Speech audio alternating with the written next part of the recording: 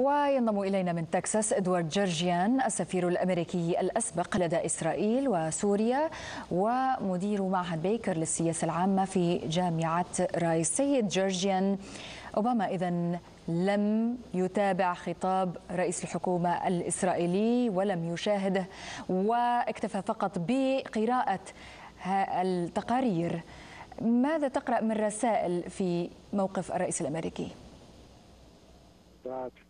Speech. What do you read into that? الرئيس أوباما قال بأنه قرأ نص الخطاب والخلاصة التي انتهى إليها تتمثل في أن رئيس الوزراء الإسرائيلي لم يقدم أي أمر جديد في خلال تحليله الذي قدمه بخصوص القضية الإيرانية النووية وأنه كذلك لم يقدم أي بديل ذو جدوائية بشأن طريقة التعامل مع هذه القضية في المستقبل. لكن هل كان منتظر من نتنياهو أن يقدم للامريكيين طريقة التعامل مع الملف النووي الإيراني في المستقبل؟ هل هذا بالفعل ما دفع أوباما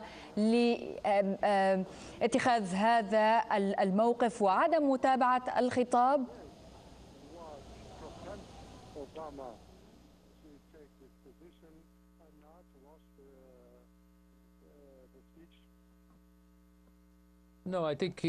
لا أعتقد أن أوباما أوضح بأنه كان يجري اجتماعا مع المسؤولين الأمنيين أثناء الخطاب. كذلك أوضح بأنه كان ينوي متابعة المحادثات مع إيران.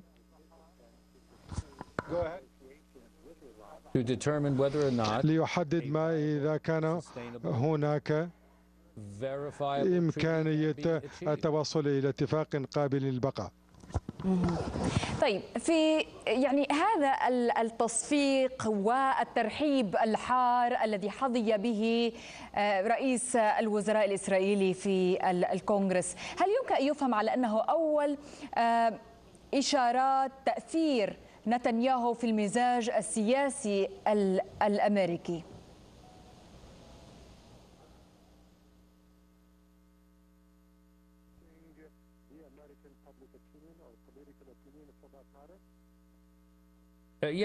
صحيح أعتقد بأن رئيس الوزراء الإسرائيلي أتى إلى الولايات المتحدة عن قصد من أجل أن يتعامل ويتحدث إلى الكونغرس الأمريكي حتى يدفع بالكونغرس إلى أن يتخذ موقفا قويا بشأن المحادثات التي تقوم بها الإدارة الأمريكية حاليا.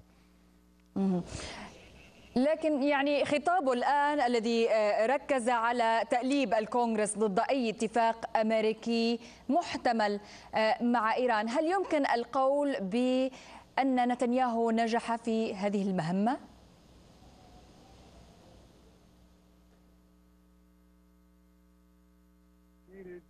in driving a wedge between the, uh, the president and the Congress?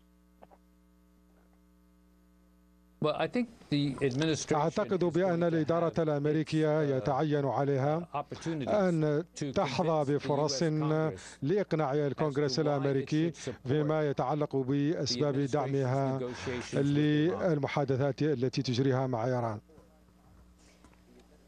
شكرا لك. اذا كنت معنا من تكساس. إدوارد جورجيان السفير الأمريكي الأسبق لدى إسرائيل وسوريا ومدير معهد بيكر للسياسة العامة في جامعة رايس.